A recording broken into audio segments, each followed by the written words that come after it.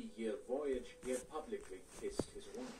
In Virginia, the norms and dictates were those of the landed gentry and transplant aristocracy, a place where the punishment for insulting such an aristocrat was to receive 50 beatings by 20 men, have your tongue drilled through, a fine worth 10 years of a farmer's income, followed by being banned for life from Virginia. In the mountains of Appalachia, the norms that dictated life were those of family clans, feuding fighting over scraps of land and livestock, with maimings, killings, and subsequent retaliatory actions in a cycle of continuous self-propelling violence. And in the Deep South, the social norms dictated that the black man was a subhuman, that the black woman had no right to defend herself against the violations of her body by a white master, that it was the white man who has to be both the owner, superior, and master of all black men, because it has always been that way, because the Bible says so, and because that is simply the norm and tradition of the white man's civilization.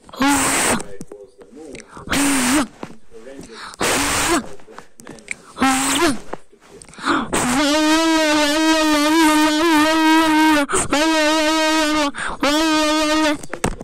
and social a society of God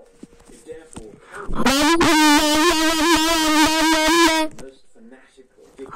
what